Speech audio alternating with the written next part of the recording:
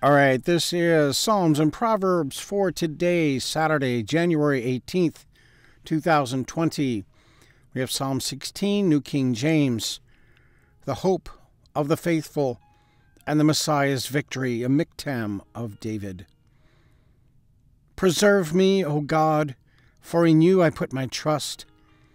O my soul, you have said to the Lord, You are my Lord.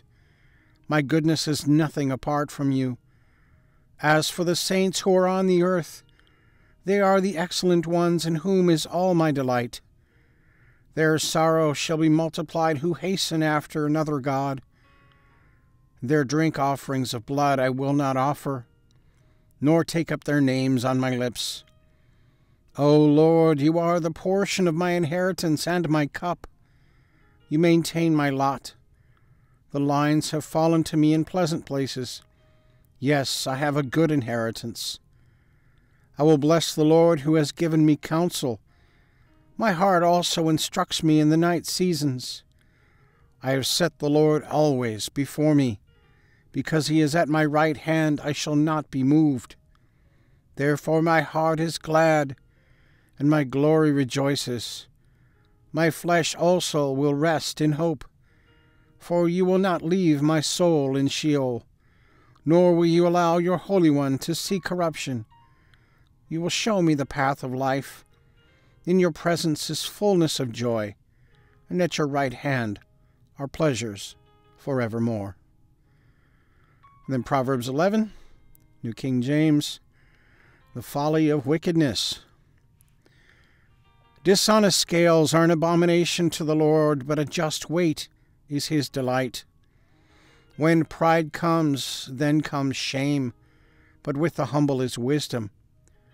The integrity of the upright will guide them, but the perversity of the unfaithful will destroy them. Riches do not profit in the day of wrath, but righteousness delivers from death. The righteousness of the blameless will direct his way aright, but the wicked will fall by his own wickedness. The righteousness of the upright will deliver them, but the unfaithful will be caught by their lusts.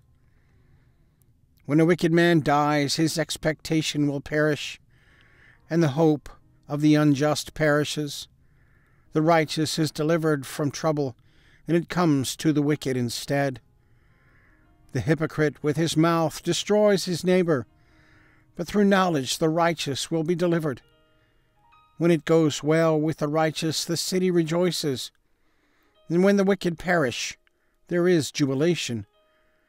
By the blessing of the upright, the city is exalted, but it is overthrown by the mouth of the wicked.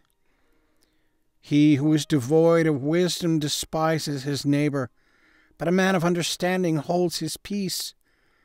A talebearer reveals secrets, but he who is of a faithful spirit conceals a matter. Where there is no counsel, the people fall, but in the multitude of counselors there is safety. He who is surety for a stranger will suffer, but one who hates being surety is secure.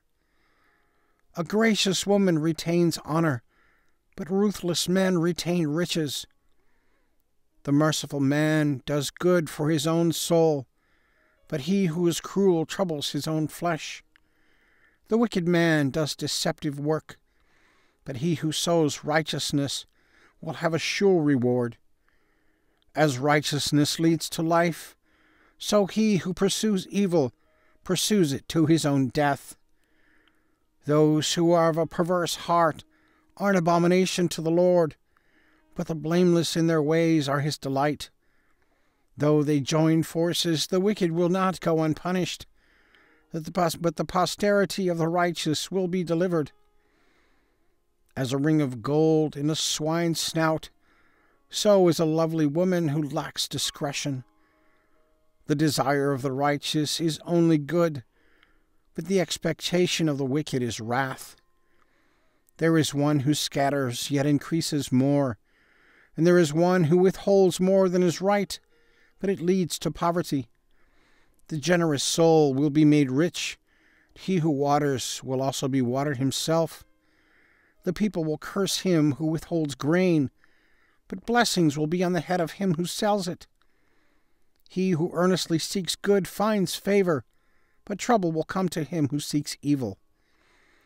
He who trusts in his riches will fall, but the righteous will flourish like foliage. He who troubles his own house will inherit the wind, and the fool will be servant to the wise of heart. The fruit of the righteous is a tree of life, and he who wins souls is wise. If the righteous will be recompensed on the earth, how much more the ungodly and the sinner? All right, and the links are there if you want to check it out. So um, click the like if you like, and uh, share it by all means. And uh, I'd be happy to uh, take any questions, comments, prayer requests. Be happy to write a prayer for somebody. All right, guys, take care. Have a great day. God bless.